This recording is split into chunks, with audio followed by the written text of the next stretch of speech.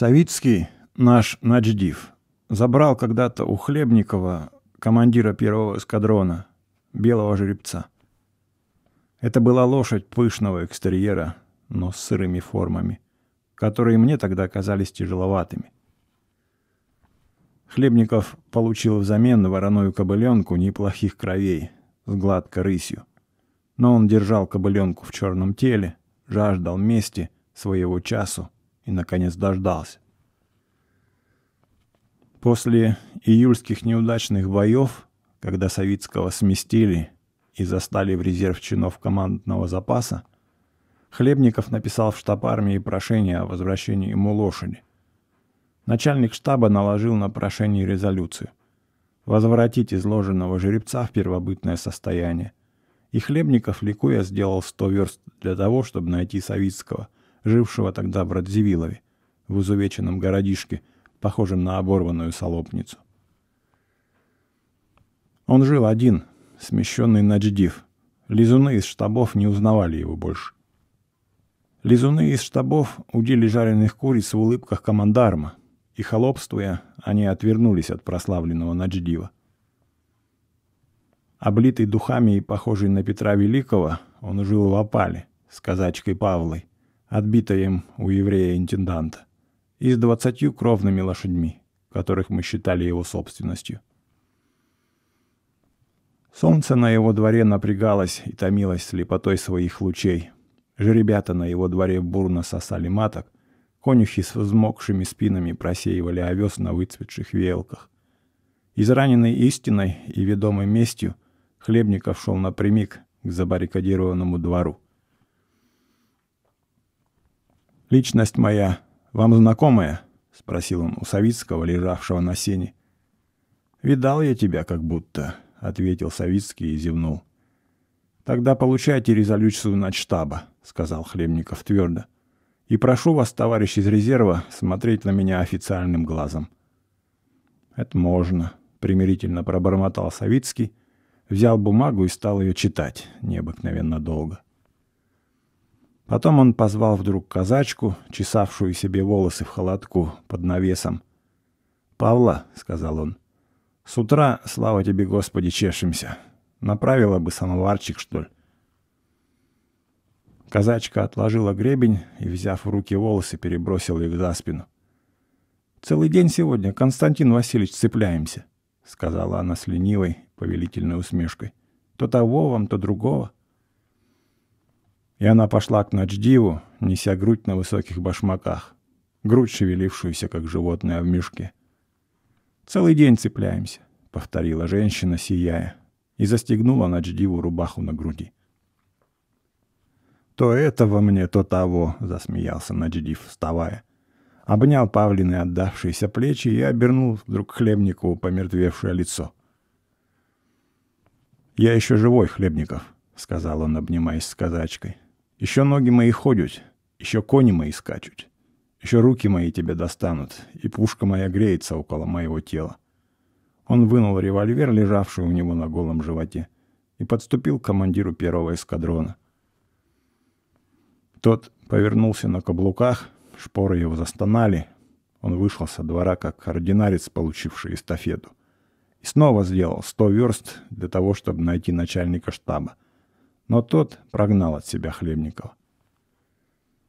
«Твое дело, командир, решенное», — сказал начальник штаба. «Жеребец тебе мной возворочен, а до куки мне и без тебя хватает». Он не стал слушать Хлебникова и возвратил, наконец, первому эскадрону сбежавшего командира. Хлебников целую неделю был в отлучке. За это время нас перегнали на стоянку в Дубенские леса. Мы разбили там палатки и жили хорошо. Хлебников вернулся, я помню, в воскресенье утром, 12 числа. Он потребовал у меня бумаги, больше десяти, и чернил. Казаки обстругали ему пень, он положил на пень револьвер с бумагами, писал до вечера, перемарывая множество листов. «Чистый Карл Маркс», — сказал ему вечером военком эскадрона. «Чё ты пишешь, хрен с тобой?» Описываю разные мысли согласно присяге. — ответил Хлебников и подал военкому заявление о выходе из коммунистической партии большевиков. Коммунистическая партия, было сказано в этом заявлении, основана, я полагаю, для радости и твердой правды, беспредела и должна также осматриваться на малых. Теперь коснусь до белого жеребца, которого я отбил у неимоверных по своей контре крестьян, имевший захудалый вид, и многие товарищи беззастенчиво надсмехались над этим видом, но я имел силы выдержать тот резкий смех и, сжав зубы за общее дело, выходил жеребца до желаемой перемены.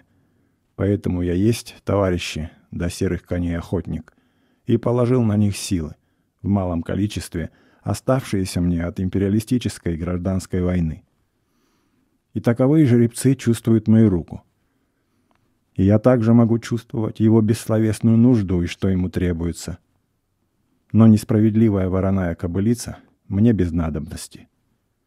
Я не могу ее чувствовать и не могу ее переносить, что все товарищи могут подтвердить, как бы ни дошло до беды. И вот партия не может мне возвратить, согласно резолюции, мое кровное, то я не имею выхода, как писать это заявление со слезами, которые не подобают бойцу, но текут без перечи, секут сердце, засекая сердце в кровь. Вот это и еще много другого было написано в заявлении Хлебникова. Он писал его целый день, и оно было очень длинно. Мы с военкомом бились над ним с час и разобрали до конца. «Вот и дурак», — сказал военком, разрывая бумагу. «Приходи после ужина, будешь иметь со мной беседу». «Не надо мне твоей беседы», — ответил Хлебников, вздрагивая. «Проиграл ты меня, военком». Он стоял, сложив руки по швам, дрожал, не сходя с места, и озирался по сторонам, как будто примериваясь, по какой дороге бежать. Военком подошел к нему вплотную, но не доглядел. Хлебников рванулся и побежал изо всех сил. «Проиграл!» — закричал он дико. Влез на пень и стал обрывать на себе куртку и царапать грудь. «Бей, Савицкий!» — закричал он, падая на землю. «Бей в раз!» Мы потащили его в палатку, казаки нам помогли. Вскипятили ему чай, набили папирос. Он курил и все дрожал. И только к вечеру успокоился наш командир. Он не заговаривал больше о сумасбродном своем заявлении, но через неделю поехал в Ровно — освидетельствовался во врачебной комиссии и был демобилизован как инвалид, имеющий шесть поранений. Так лишились мы Хлебникова. Я был этим опечален, потому что Хлебников был человек тихий, похожий на меня характером. У него одного в эскадроне был самовар. В дни затишья мы пили с ним горячий чай. Нас потрясали одинаковые страсти. Мы оба смотрели на мир — как на луг в мае, как на луг, по которому ходят женщины и кони.